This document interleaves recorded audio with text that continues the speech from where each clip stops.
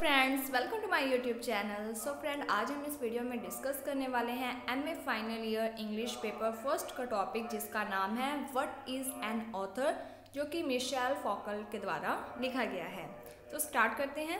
In this essay what is an author is not discussing author and their work rather he is talking about the concept of work and the function role of an author that is author function तो ये जो ऐसे है what is an author इसके अंदर जो Michel हैं, उन्होंने ऑथर के बारे में, उनके जो वर्क्स हैं, उनके बारे में डिस्कस ना करते हुए उन्होंने ये बताया है कि इस वर्क का कंसेप्ट क्या है और ऑथर की इसमें क्या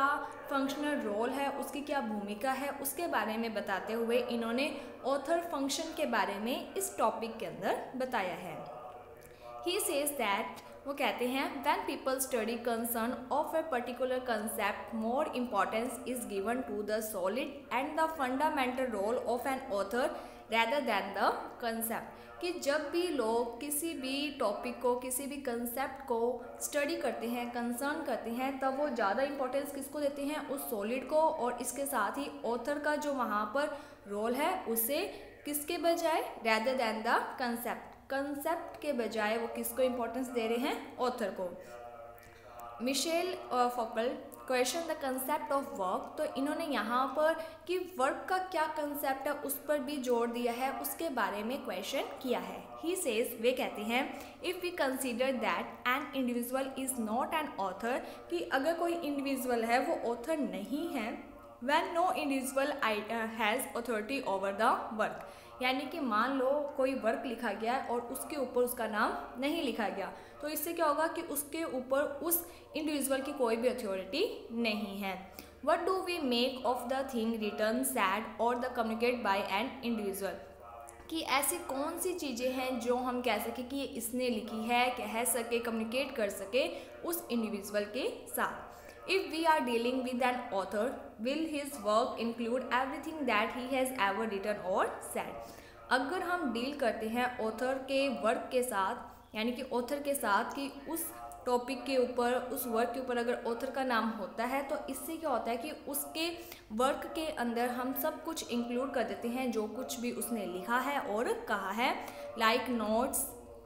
on someone address and an appointment an author's name यानी कि यहाँ पर इन्होंने कहा है कि जो ऑथर का नेम होता है functional is in relation to his और her work as it can be use to classify a set of work and also establish reciprocal explanation authentication और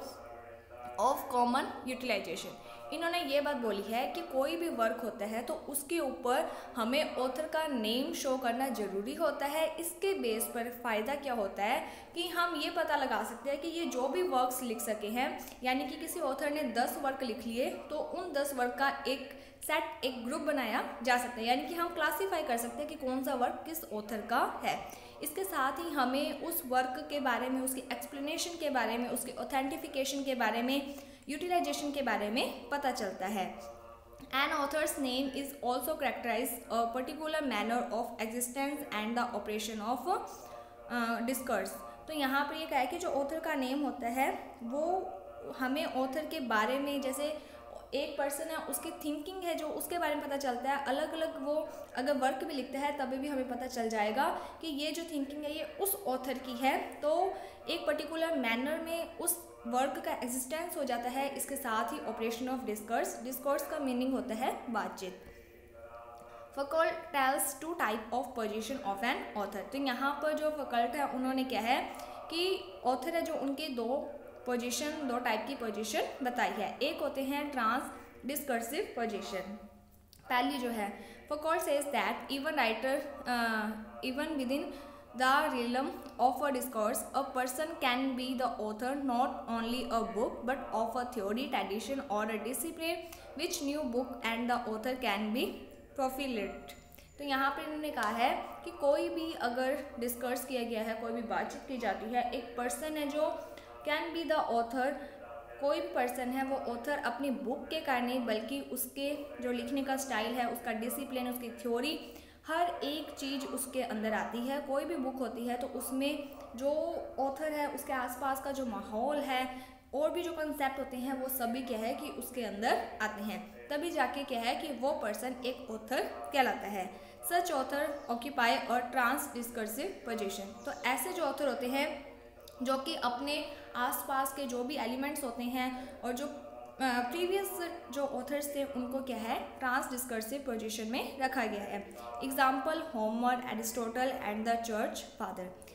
तो एग्ज़ाम्पल कौन कौन से हैं? होमर हो गया अरस्तु एरिस्टोटल और चर्च के father this kind of author are as old as our civilisation ये ऑथर इतने ही मतलब पहले के टाइमिंग के हैं जितनी कि हमारी सिविलाइजेशन हमारी सभ्यता। उसके बाद अगले हैं initiator of discursive practice initiator यानी कि जो हाल ही में न्यू आए हैं, वो। Nineteen century Europe produce a singular kind of author different from transdiscursive author यानी कि यूरोप में क्या है कि अब ऐसे ऑथर्स आए हैं जो कि ट्रांस डिस्कर्सिव ऑथर से डिफरेंट हैं। They not only produce their own work but they let down the possibility and rule of forming other text कि ये जो ऑथर्स हैं, ये कहे कि खुद प्रोड्यूस कर रहे हैं अपने वर्क को, कुछ नए रूल्स क्रिएट कर रहे हैं, कुछ जो टेक्स्ट वगैरह होते हैं, उसमें कुछ न्यू क्रिएट कर रहे हैं। They provide ground not only for the analogy of to be adopt by the future text but also made possible difference they create a space for differing view within the field of the discourse जो पहले के author थे, वो क्या है कि अपने जो आइडियाज़ थे, वो सेम रखते थे लगभग अपने वर्क में। लेकिन ये जो ऑथर्स आए हैं, ये क्या है, एक ग्राउंड प्रोवाइड करवा रहे हैं जहाँ पर जो फ्यूचर के टेक्स्ट हैं, वो एनालिसिस का यूज़ कर सके, अपने जो डिफरेंट डिफरेंट थॉट्स हैं, उन्हें ये स्पेस दे रहे हैं कि आप इन व्यूज़ को रखो।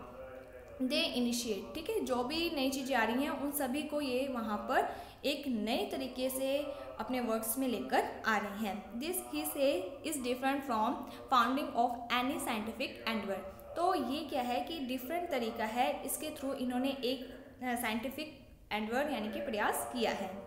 Author function according to Foucault is one possible specification of the subject and it appear that the form the complexity and even the existence of author function is not permanent तो यहाँ पर क्या कि जो ऑथर का function है, वो क्या है कि इसके थ्रू हमें जो हम कोई भी वर्क है उसको क्या है, एक तो स्पेसिफिकेशन कर सकते हैं कि ये इस ऑथर का है।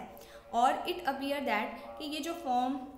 बट इसमें ये नहीं है कि ये जो फॉर्म है, ये कॉम्प्लेक्सिटी है या एग्जिस्टेंस है ऑथर के फ़ंक्शन की ये परमानेंट हो। क्योंकि एक ऑथर जैसे लिख रहा है, ज़रूरी नहीं है कि वही ऑथर वैसे लिखेगा, दूसरे ऑथर्स भी वो तरीका अपना सकते हैं। इसीलिए कहा गया है कि वहाँ पर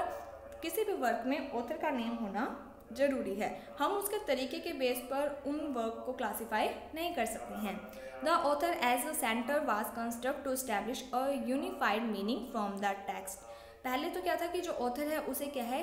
कंस्ट्रक्ट किया जाता था एक केंद्र बिंदु के रूप में, ठीक है? एक सेंटर के रूप में, जिससे कि हम जो टेक्स्ट है, उसके यूनिफाइड मीनिंग को समझ सके। But now text itself become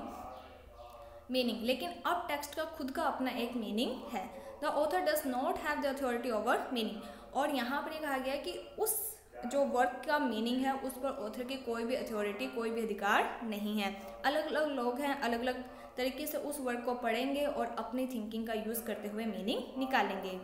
author और the unified subject is displace from the centre पहले जो सेंटर है, उसके अंदर कौन थे? ऑथर और उसका unified subject but now not remove entirely अब क्या है कि ये सेंटर तो नहीं है, ये डिस्प्लेस हो चुके हैं सेंटर से, लेकिन ये पूरे तरीके से ख़त्म नहीं हुए हैं। A text need to be relate through larger group of text और डिस्कोर्स कोई भी जो टेक्स्ट होता है, उसके लिए ज़रूरत होती है कि बहुत सारे टेक्स्ट का एक ग्रुप होना चाहिए और उस टेक्स्ट में डिस्कर्स होना चाहिए। मतलब जो बातें उसमें कही गई हैं उसके बारे में जोड़ दिया गया है। सो so, होपफुली आपको ये जो टॉपिक है वो समझ में आ गया होगा। आपको कोई भी डाउट होता है तो आप हमें कमेंट सेक्शन में बता सकते हो। इसके अलावा टेलीग्राम पर नई शुरुआत के नाम से एक ग्रुप बनाया गया है उसे भी ज्वाइन कर सकते हो।